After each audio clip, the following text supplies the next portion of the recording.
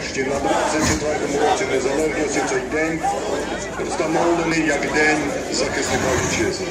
Наш обов'язок молодшого покоління це віддати шану героям України, які боролися за незалежність України. Згаданому ветерану Олексем Донієм.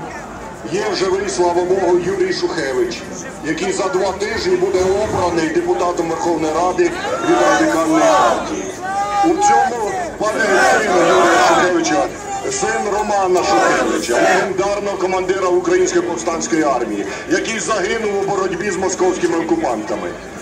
У цьому парламенті під цими стінами, під цим дахом має бути дух свободи, має бути дух боротьби за Україну, має бути дух героїв.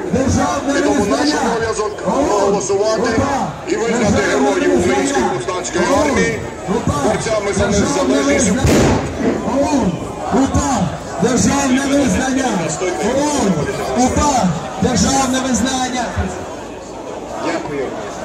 Шановні колеги, дорогі українці, справді сьогодні великий день в Україні, день народження УПА і День Святої Покрови. Тому для нас, для тих, хто представляє український парламент,